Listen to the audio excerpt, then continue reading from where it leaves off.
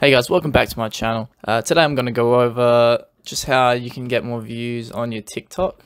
Um, I was making videos on my original account and it was getting a fair few views, not heaps, just like general, like, I don't know, 1,000 views, 150, 500.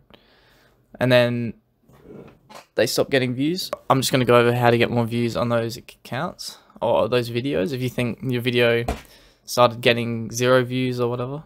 So I was just making videos and I was getting like a thousand, five hundred views at the start, and then I continued to make videos and they were getting like five, zero views sometimes, and I posted like ten videos in a row and wasn't getting any views. So I'm just gonna go over how you can get those videos to get some traction and maybe get some more views.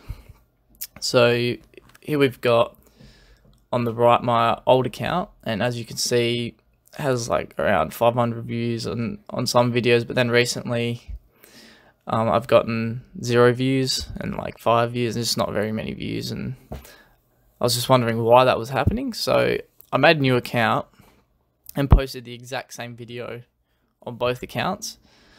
So on the old account, I got like I don't know, it was less than 10 views, and on the new account, it got uh, like almost 300, uh, 300 or more. So obviously TikTok, they want new users to want to use the app.